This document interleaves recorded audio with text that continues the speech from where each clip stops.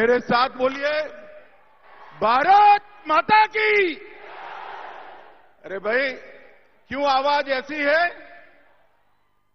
आज राजगोपाल रेड्डी भाजपा में टीआरएस की सरकार को उखाड़ने के लिए शामिल हो रहे हैं। मेरे साथ दोनों हाथ उठाइए। उठाइए दोनों हाथ। विजय के विश्वास की मुट्ठी बींचिए और प्रचंड आवाज़ से बोलिए, भारत माता की, भारत माता की। मंच पर उपस्थित प्रदेश अध्यक्ष बंडी संजय कुमार जी आज जिनको भाजपा में प्रवेश करने के लिए मैं आया हूँ। ऐसे मेरे मित्र श्री राजगोपाल रेड्डी जी ताली बजाओ भाई। मंच पर बैठे हुए भाजपा के सभी नेता, भारतीय जनता पार्टी के सांसद, हमारे राष्ट्रीय नेता और आज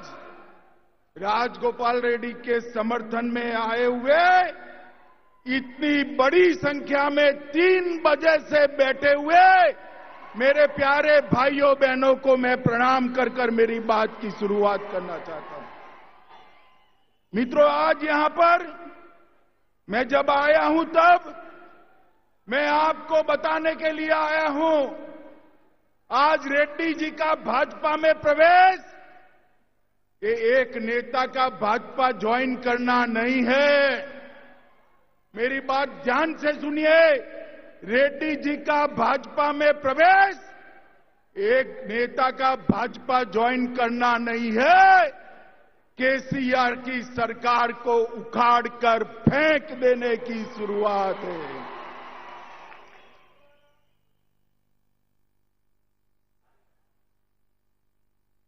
मित्रुलारा ఈరోజు మిత్రుడు రాజగోపాల్ రెడ్డి గారు భారతీయ జనతా పార్టీలో ఏదైతే ప్రవేశం సభ్యత్వం తీసుకుంటున్నారో వస్తున్నారో వారు ఒక నాయకుడు కేవలం భారతీయ జనతా పార్టీలో ప్రవేశించడం కాదు. అది మొత్తం కూడా రాబోయేటువంటి రోజుల్లో కేసీఆర్ గారి ప్రభుత్వాన్ని కూకటి వేళ్లతో పేకేసేటువంటి ఘట్టంగా నేను భావిస్తున్నాను మిత్రులారా मुनुगोडू वाले बताए मुनुगोडू वाले बताए राजगोपाल रेड्डी को जिताओगे क्या सुनाई नहीं पड़ता भाई जोर से बोलो जिताओगे फिर से बोलो जिताओगे मैं आपको कहता हूं इस विधानसभा में उपचुनाव रेड्डी जी को जिता दो मैं गारंटी देता हूं केसीआर की भ्रष्टाचारी सरकार यूं चली जाएगी మిత్రులారా భారతీయ జనతా పార్టీ నేను గ్యారంటీ స్వయంగా ఇస్తున్నాను రాజగోపాల్ రెడ్డి గారిని మీరు గెలిపిస్తే పొగ పొగ మాదిరిగా ఈ విధంగా కేసీఆర్ ప్రభుత్వం మాయమైపోతుంది मित्रों ये तेलंगाना सरकार वादा खिलाफी करने वाली सरकार है उन्होंने कहा था कि हमारी सरकार बनेगी तो हम सितंबर में तेलंगाना विमोचन दिन मनाएंगे मित्रों मैं आपको याद कराने आया हूं रजाकारों के त्रास से उनके आतंक से देश के पहले गृह मंत्री सरदार पटेल ने तेलंगाना को आजाद कर कर भारत के साथ जोड़ा था మిత్రులారా మీ అందరికి కూడా తెలుసు కేసీఆర్ గారు ఏం వాగ్దానం చేశారు తెలంగాణ ప్రజలకు? ఒకసారి తెలంగాణ ఏర్పడి ప్రభుత్వం వస్తే సెప్టెంబర్ పదిహేడు తెలంగాణ విమోచనం ఏదైతే భారతదేశంలో విలీనమైనటువంటి రోజుందో అభినవ సర్దార్ పటేల్ కారణంగా విలీనమైందో అది నేను ఉత్సవంగా జరుపుతూను. ఏమి సెప్టెంబర్ సెవెంటీన్త్? రజాకారులు ఉగ్రవాదంతో అత్యాచారాలు తెలంగాణ ప్రజల మీద చేశారో దానికి వ్యతిరేకంగా ఈ విమోచన దినం జరిపిస్తానని చెప్పారు ఏమైందని నేను అడుగుతున్నాను మిత్రులారా और ये केसीआर मजलिस के डर से मजलिस के डर से तेलंगाना विमोचन दिन नहीं मनाते हैं मगर चिंता मत करो, तेलंगाना वालों, मुनुगोडू वालों। मैं बताता हूँ, अगले चुनाव में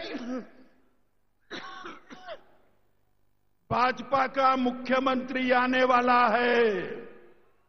और भाजपा का मुख्यमंत्री आने के बाद, हर सितंबर में यहाँ पर तेलंगाना विमोचन दिन मनाने का कार्यक्रम भारतीय जनता पार्टी करने वाली है మిత్రులారా సెప్టెంబర్ సెవెంటీన్త్ విమోచన దినం మీ అందరికీ తెలుసు కేసీఆర్ నీవు ఎంఐఎంకు భయపడి ఎంఐఎం కారణంగా ఉత్సవం జరపట్లేదు కానీ నేను చెప్తున్నాను రాబోయేటువంటి రోజుల్లో భారతీయ జనతా పార్టీ ముఖ్యమంత్రి తెలంగాణ వచ్చి తీరుతారు వచ్చిన తర్వాత సెప్టెంబర్ పదిహేడు విమోచన దినంగా మేము ఘనంగా పాటించి అమరవీరులకు శ్రద్ధాంజలి ఇచ్చి తీరుతాం एक केसीआरएन कंपनी जो है वो वादा खिलाफी करने वाली कंपनी है उन्होंने कहा था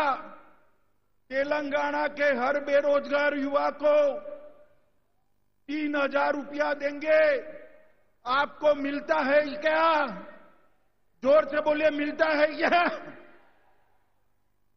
ఎవరైతే నిరుద్యోగంలో ఉండేటువంటి యువకులకు యు- నిరుద్యోగ భృతి ప్రతి నెల మూడు వేలు ఇస్తానని వాగ్దానం చేశారు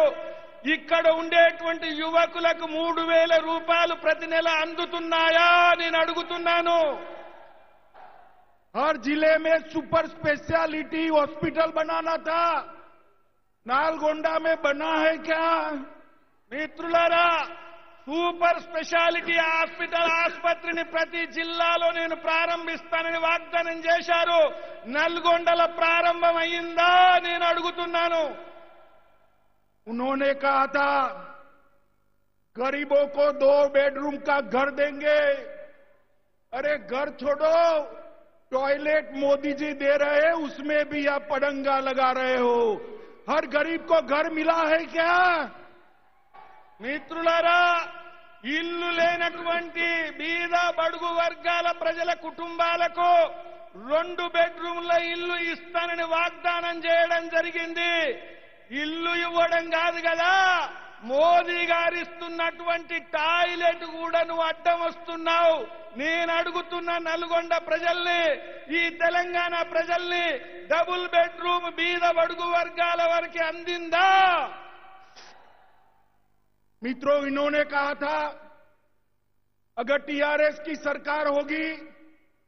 तो हम एक दलित को एक अनुसूचित जाति के व्यक्ति को मुख्यमंत्री बनाएंगे अरे दलित भाइयों अब तक तो नहीं बनाया फिर से अगर इनको चुनोगे तो केसीआर की जगह केटीआर आएगा दलित नहीं बनेगा मेरी बात याद रखना మిత్రులారా